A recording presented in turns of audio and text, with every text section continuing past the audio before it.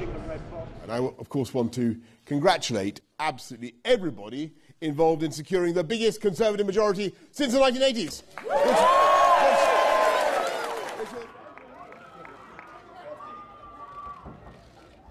This is obviously a very disappointing night for the Labour Party.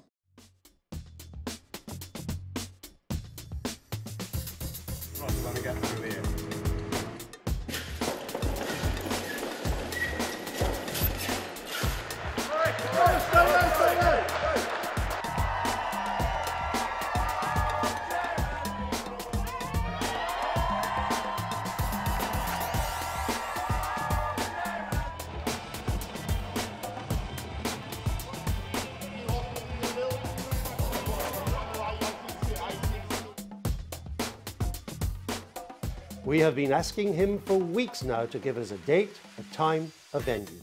As of now, none has been forthcoming.